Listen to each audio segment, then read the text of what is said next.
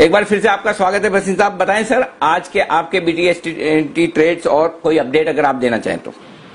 sir तो undertone बड़ा वो हो गया, थोड़ा शेकी हो गया है बट आई थिंक मैं ये कह रहा हूँ, एक आध दिन की बात है, शायद लास्ट हाफ़ एन आवर में ही कुछ मुझे उम्मीद है बाइंग आए because global cues are good और ये बॉर्डर टेंशन से जो अनहोनी की है I think it is over done तो again metals are proxy to weakness जो मैंने कहा है तो Hindalco sell is a sell thirty nine thirty nine fifty चालीस रुपए, पच्चीस पैसे का स्टॉप लॉस पैंतीस रुपए का टारगेट